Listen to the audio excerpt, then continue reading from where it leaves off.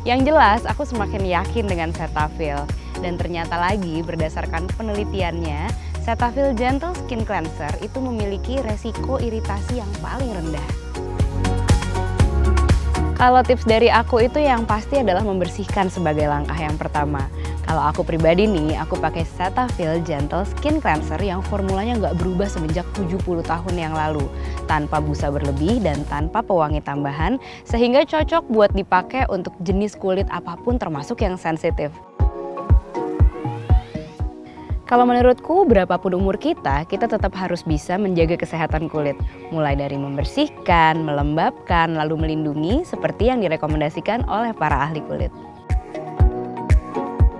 Harapan aku untuk Cetaphil ke depannya, semoga bisa terus peduli dan menjaga kesehatan kulit.